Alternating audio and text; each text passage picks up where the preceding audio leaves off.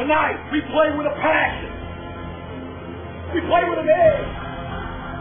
We play with an attitude. You play smart, you play fast, and you play physical. Southern Miss style football. Show the people what it's about when you come to the rock.